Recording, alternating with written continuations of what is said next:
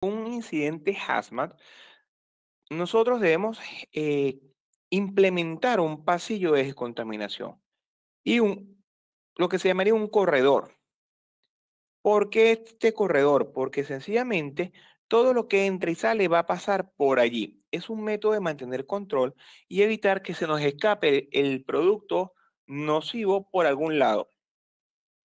Entonces, esta contaminación técnica, como les digo, es cuando este señor sale de trabajar sin mayor problema y sin mayor inconveniente. A su vez, esta descontaminación se secciona en dos tipos. La primera es la que llamamos descontaminación gruesa. ¿Qué es una descontaminación gruesa?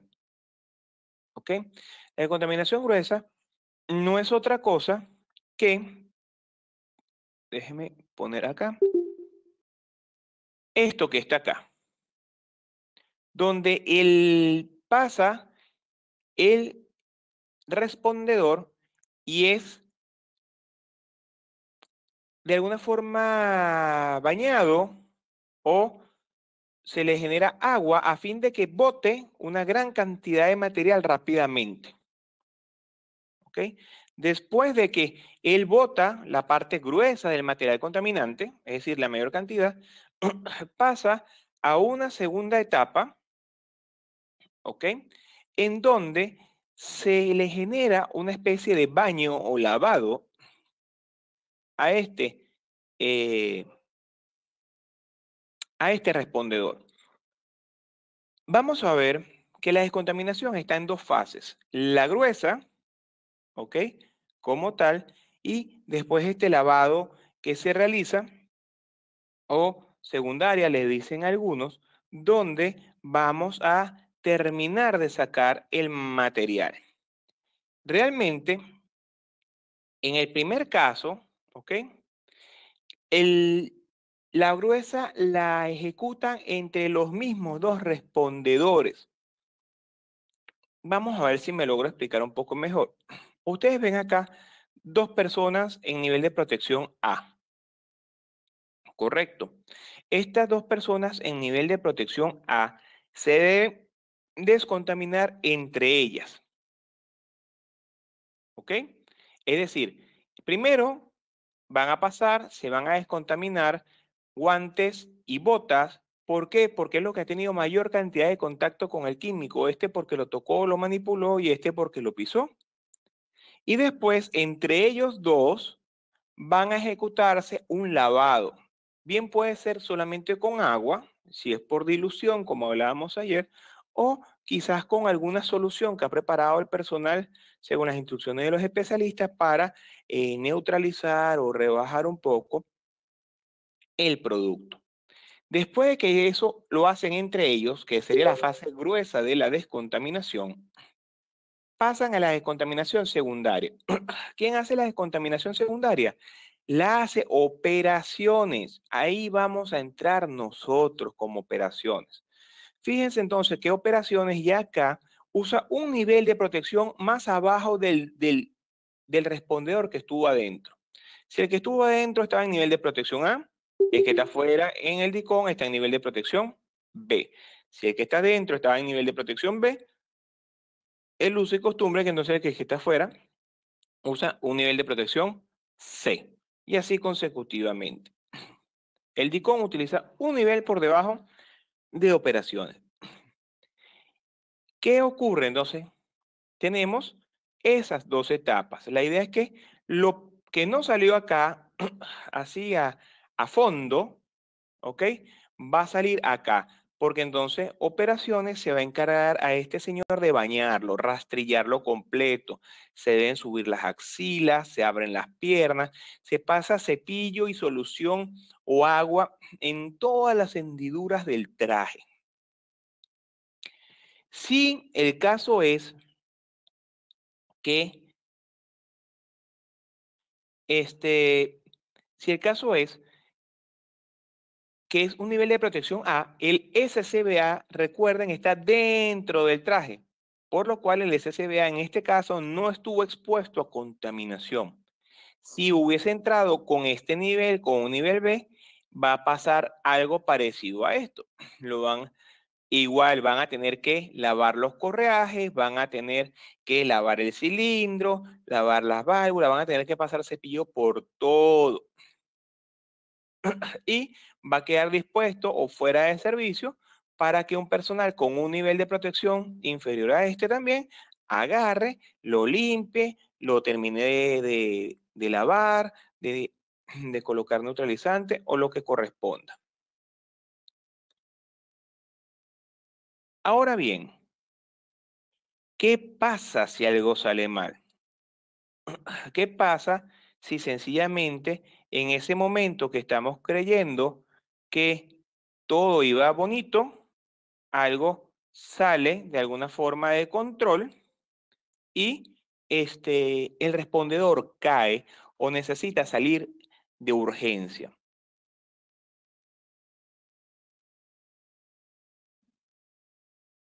Esta la conferencia ya no se está grabando. Esta conferencia comenzará a grabarse. Ok, ¿qué va a ocurrir? Si un respondedor cae dentro del área, ¿qué creen ustedes que se deba hacer?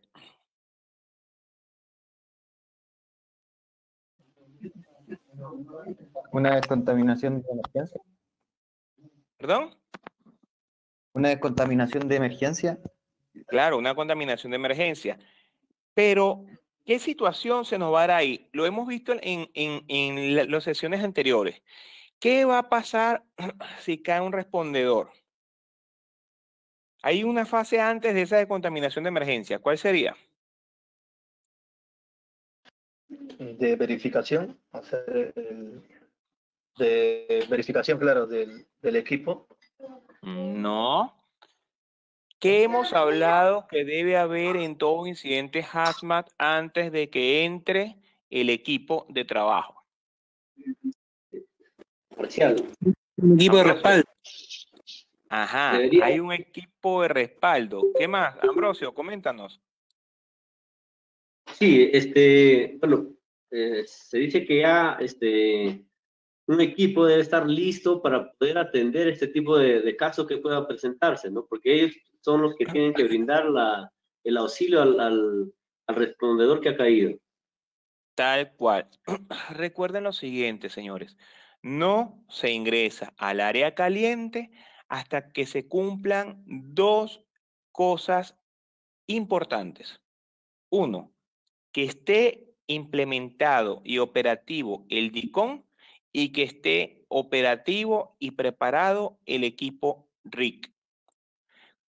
Como ustedes lo quieran llamar. RIC, Rapid Intervention Team, RIC, Rapid Intervention Crew, equipo de intervención rápida, un EIR, un rescate de rescatadores, como lo quieran llamar en su procedimiento, no importa. Pero esas dos condiciones deben estar listas sí o sí antes de entrar al área caliente, si no nadie entra.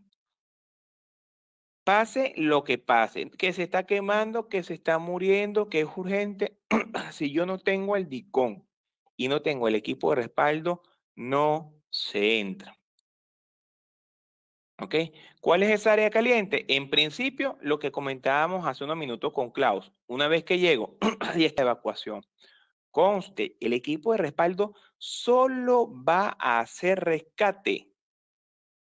El equipo de respaldo no se va a quedar trabajando, salvo que haya un tercer equipo de respaldo. O sea, hay mucho personal y hay varios equipos, entonces si el equipo A entró y se le presentó una emergencia y el equipo B ingresó a sacarlo, el equipo B entrega el DICON al A y él se puede quedar adentro porque ya el equipo C está preparado para darle soporte a ellos. Caso contrario, el, si nada más hay dos equipos, uno de trabajo y uno de, de respaldo, el de respaldo lo que va a hacer es entrar, rescatar y salir hasta que se reconfigure el equipo. No se va a quedar trabajando porque entonces él no tendrá respaldo. Eso por un lado. Y podemos tener el equipo de respaldo y el equipo de entrada. Ah, sí, vamos a entrar. Ajá, y se presenta la emergencia y cuando lleguen ya va, dame un chancecito que estoy montando el dicón. Pero es que se está muriendo, se está ahogando, tengo que sacarlo. No, espérate porque no tengo dicón.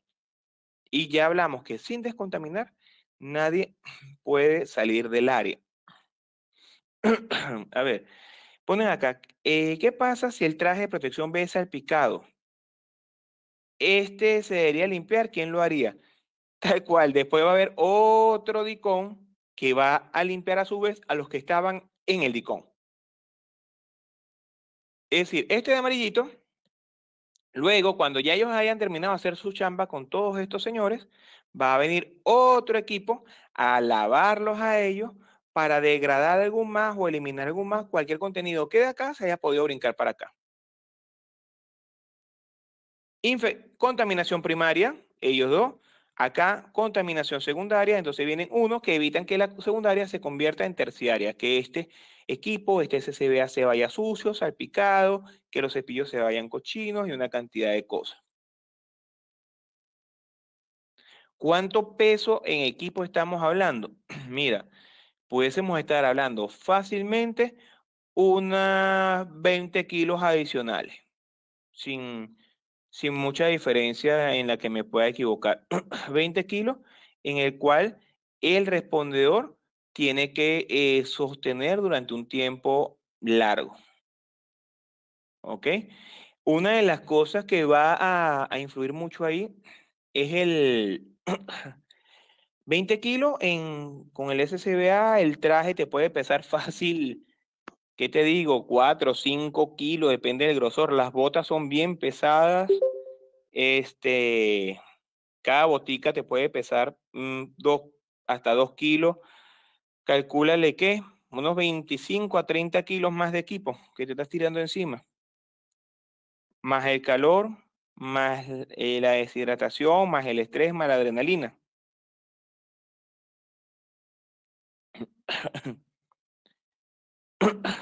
No, Carlos, son por lo menos dos equipos, uno de entrada y uno de respaldo. Ese de respaldo es el que llamamos RIT o RIC, ¿ok?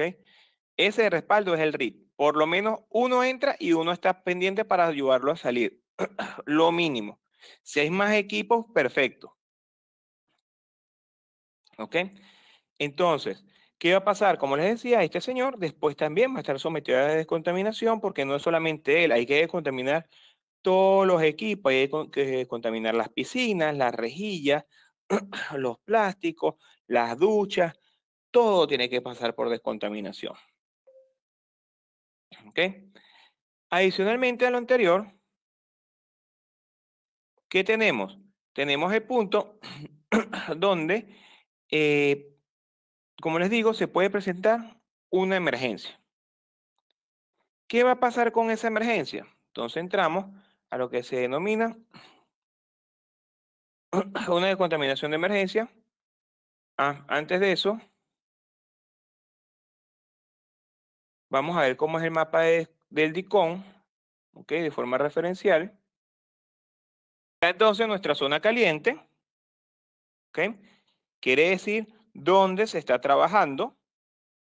Más adelante vamos a ver de otra forma igual. Dónde se está trabajando. Y para yo salir de la zona caliente a la zona fría, debo pasar por la zona tibia. Entonces, en la zona tibia es donde se va a dar todo el proceso de DICOM. Primero, quedamos que teníamos una de una descontaminación gruesa. Esta que está acá. ¿Ok? En esta descontaminación gruesa, como les decía, entre los dos que entraron, como son los que eh, coloquialmente están más cochinitos, entre ellos se van a sacar la mayor parte de contaminación que traen. Entre ellos mismos. Primero se van a lavar pies y manos, después de pies y manos se van aplicar una primera capa. Si está disponible, entonces usan una solución de descontaminación o solución neutralizadora o simplemente agua para diluir la mayor parte del contaminante. Una vez que ellos hacen esto, entonces van a pasar para acá, a la descontaminación secundaria. En esta descontaminación secundaria, ya son asistidos por operaciones, se vuelve a repetir el mismo esquema, nivel de protección A, nivel de protección B. ¿Y acá qué van a hacer? van a terminar de enjuagar a la gente, bien sea con agua, con más solución, lo que dispongan los técnicos.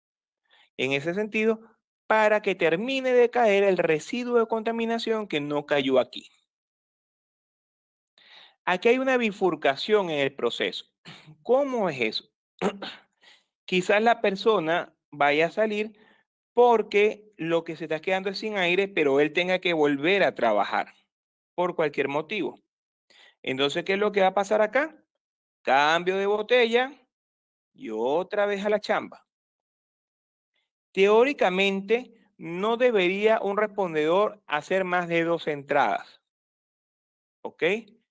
Y esas dos entradas van a regularse en el sentido de que en este momento, cuando se cambia la botella, obviamente se debe disponer de una evaluación rápida de las condiciones del respondedor. Este respondedor se nota deshidratado, eh, fisiológicamente descompensado, obviamente él no puede volver a entrar. Si él se mantiene adecuadamente y es necesario, él puede volver a entrar. Si tuviésemos más respondedores, lo recomendable, lo óptimo es, señor, sálgase, descanse un rato, usted entra en otra vuelta, metemos otro equipo. y vamos rotando a la gente para que no se nos desgasten sin necesidad. Si no va a haber cambio de botella o ya va para afuera o sus condiciones no dan para una segunda vuelta, entonces obviamente él va a pasar acá a el retiro del equipo de protección personal, todo eso se dispone en overpacks, ¿ok? Y ya él pasa a el área fría. Fíjense que se dice que se retira el EPP, pero en el área fría se retira el SCBA. Porque aquí estamos trabajando en el ejemplo de que este señor viene en un nivel de protección A y el SCBA no está expuesto a contaminación. Si fuese un nivel de protección B, como el caso de los, eh, los mismos eh, operadores de la parte de ICOM, se va a mantener acá en la zona tibia hasta que sufra un proceso de descontaminación todo el material, todo el equipo y después de eso es que se va para zona fría. ¿Qué quiere decir el tema de viento más menos 20 grados? Uno, que todo esto va en dirección del viento. Es decir, acá el viento está soplando desde aquí hacia acá.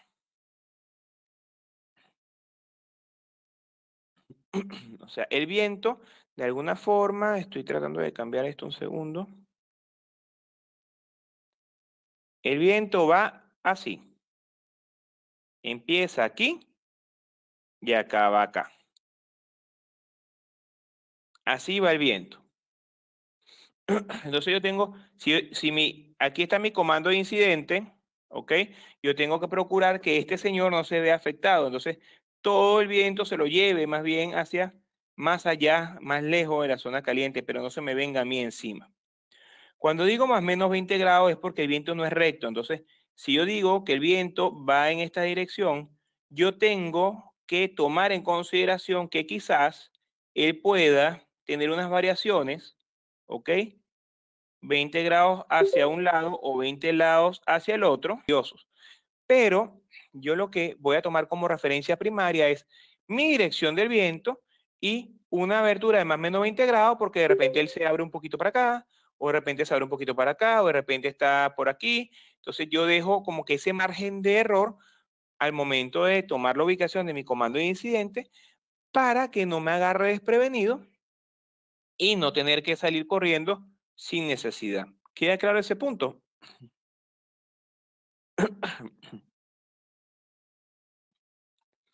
No, e, estos son referencias, estas dos cosas acá son medidas referenciales del tamaño de overpacks que debemos tener dispuestos para desechos. Los desechos que se puedan caer en el camino. Cambio de guantes, eh, paños de secado de equipos. De repente acá vine, me cambiaron, me voy secando con un pañito el equipo para volver a ingresar. Entonces lo desecho aquí y así consecutivamente. ¿Hasta ahí vamos claros? Bueno, supongo que sí. Si no, por favor, pregunte. Yo, profe, ¿puedo hacer una pregunta? Claro, Franco, ¿cómo estás? Bien, bien. Eh, una vez que se termina toda la operación, ¿Cómo recuperas el material de descontaminación de entre la zona caliente y la zona tibia, o sea, la que es eh, contaminación gruesa? Tiene que exponerse gente, porque ese material, por lo que veo, los dos operadores que trabajaban en la zona caliente eh, utilizaron elementos para autocontaminarse. A ver si te comprendo. Te estás refiriendo a que todo lo que se produce en esta estación, Franco. Exactamente. Terminada la operación, ¿cómo yo recupero todo eso teniendo que hacer una decontaminación? ¿Qué va a pasar? Sí, sí, te comprendo. ¿Qué va a pasar? ¿Quién es el encargado de esta zona? Este señor, operaciones. Entonces, este señor que está aquí adentro, ¿ok? Se va a encargar. Los líquidos que están acá van a un overpack. Todo este Ujú. material que está acá, desarmarlo. Y ese desarmado lleva un proceso de limpieza, bien sea de descontaminación, de lavado. El material que está en la piscina se supone que ya está degradado, diluido, neutralizado, o sea, está tratado de una u otra forma. ¿ok? Ya es un residuo, no es el material puro. Entonces, este señor igual, como hay un porcentaje, pero no es tan alto como aquí adentro en la parte roja, ya él no necesita estar así. ya él va a estar así como Sí. venía trabajando. Él va a encargarse de limpiar todo esto, descontaminar todo esto y lo va a poner aquí en la puerta. Mira, ya está limpio, ya lo limpié, lo cepillé, le puse un neutralizante y lo, puse- y lo pone aquí en la puerta. Pum, se lo llevan para la parte fría. Y se van llevando todo para la parte fría. Cuando él ya desmanteló toda esta zona caliente, entonces aquí va a haber como una especie de di- mi- mini DICOM, por decirlo de alguna forma, que se va a encargar de lavarlo a él, que lo que se supone va a tener es residuos, no va a tener material puro como traía este señor, ¿ok? Para igual ese residuo terminarlo de eh, bajar lo más posible, no se haya a ningún lado, y lo depositan todo acá y se va todo el mundo para afuera. ¿Me logro explicar bien? Sí, ok, ok. Listo. Entonces, sí, Ahora, tal eh, cual. oh, pará, eh, profe, una consulta Diga, más. diga. El, el operador, ¿sí? Que hizo todo ese movimiento, ¿cómo se descontamina? O, o ya lo tomamos como una dosis baja de todo el proceso, entonces él después puede llegar hasta la zona, la zona tibia y zona fría, depositar todo su equipamiento y después hacer otra descontaminación. Sí, e- él acá va a tener otra gente que lo descontamine o inclusive si hay muy poco personal, se va a descontaminar él mismo. Porque recuerda que él ya está degradado, entonces lo que va a usar son medios para terminarse de limpiar todo el, todo el equipo y desecharlo. ¿Ok? Porque ya lo que tiene es material degradado, él ya no tiene químico o biológico en niveles eh, nocivos como traía este señor que estaba en la zona caliente. Bien, perfecto, buenísimo. Dale. Sí puede influir la velocidad del viento en cuanto al desplazamiento del material. Obviamente, si estamos en una zona muy, muy ventosa y tenemos un, un material eh, en escape que necesite o requiera un cono de proyección, tenemos que saber que ese cono de proyección se va a tener que implementar mucho más rápido porque se lo va a llevar. Y adicionalmente, no, es un solo dicón.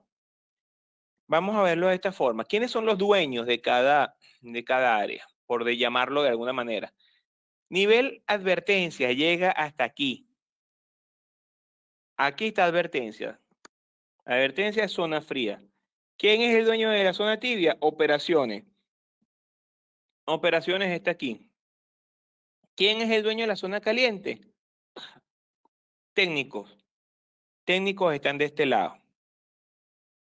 El DICON, llamado DICON como tal, es uno solo, que es este proceso, es el paso de la zona caliente a la zona fría. Y se establece todo en la zona denominada tibia. ¿Ok? El que Profe. trae, dígame.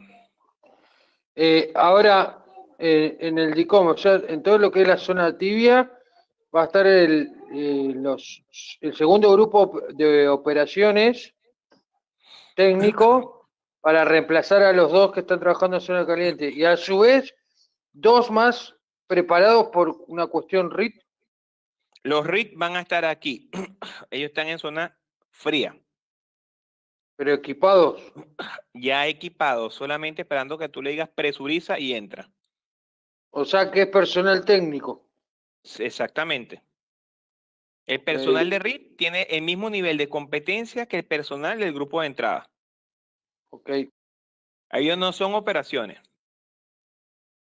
Si fuesen operaciones, no pudiesen entrar al área caliente. Perfecto, perfecto.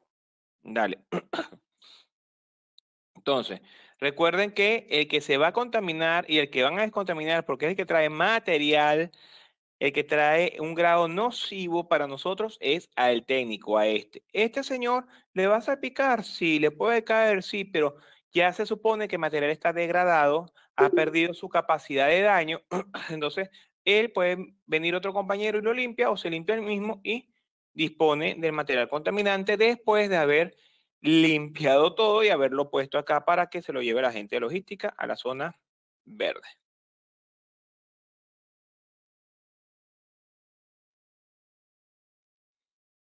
Recuerden que una cosa distinta es las zonas de delimitación o las zonas de control, que más adelante la vamos a abrir un poquito más con comando de incidente, y otra cosa distinta son las competencias profesionales de lo que corresponde al respondedor. Es decir, acá hablo de zona tibia, en la zona donde está el DICON, y lo atiende un respondedor que tiene competencias profesionales a un nivel operaciones.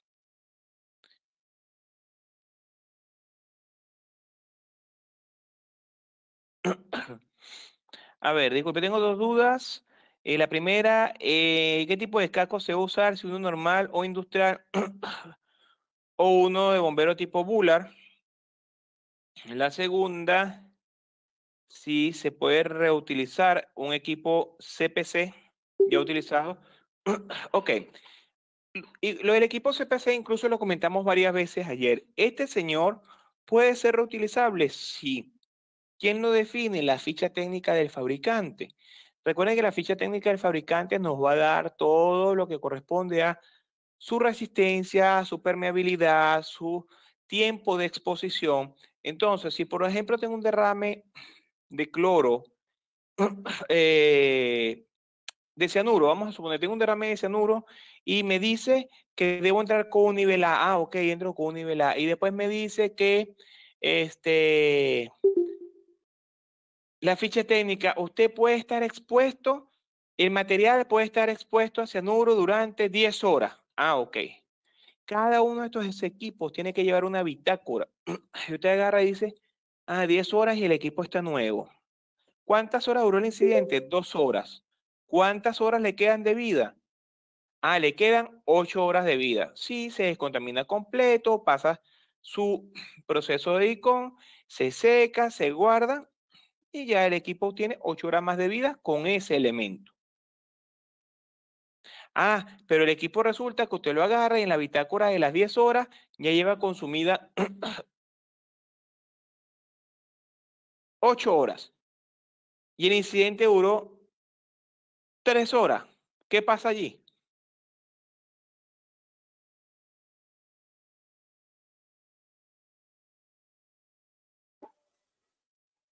Ya, perdió la. Considera solamente lo que ha estado en operación, nada más. La seguridad ya se pasa de la hora que tiene por fábrica. Ajá, entonces tenemos una hora sin seguridad. Entonces, ¿qué tiene que hacer logística? ¿Qué tiene que hacer comando de incidentes y todo el mundo en ese caso? A ver, vas a entrar, está el material y tienes nada más dos horas de trabajo. Cuando no vas a poder tener los tres horas, a las dos horas lo vas a tener que sacar, aunque el traje se vea bien, porque se va a ver bien, pero por bitácora lo vas a tener que sacar y vas a tener que cambiar el traje o cambiar el respondedor. Así de sencillo, no te puedes confiar porque en ese momento ya el traje pudiese empezar a perder propiedades y empieza lo que hablábamos ayer, el tema de que empieza a permear el traje, de que se empieza a degradar. Entonces, no debemos eh, en ese sentido. Profe, una consulta. A ver, sí, si hay un si hay una zona caliente, a la zona caliente solo entra el técnico, sí o sí. O sea, eso es lo que establece la norma.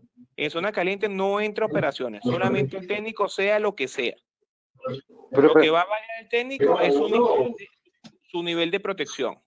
Alex, cuéntanos. Consulta, eh, si entendí bien, tienes que llevar tu bitácora de cada equipo de protección para el siguiente uso dependiendo del mismo material. En el caso, Ajá. como explicaba, que cada unas horas.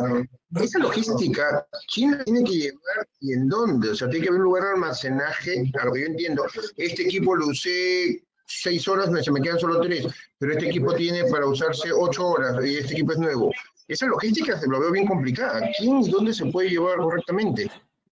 Es que es una logística complicada. Te voy a agradecer, Alex, que tengas el punto allí porque seguramente no, se nos va a aclarar un poco más el panorama cuando lleguemos a la parte de comando de incidente. ¿Vale? Perfecto. Gracias. Entonces, ¿qué va a pasar? Esto es para salir de forma normal. Estos señores entraron caminando y salen caminando y podemos hacer todo el circuito.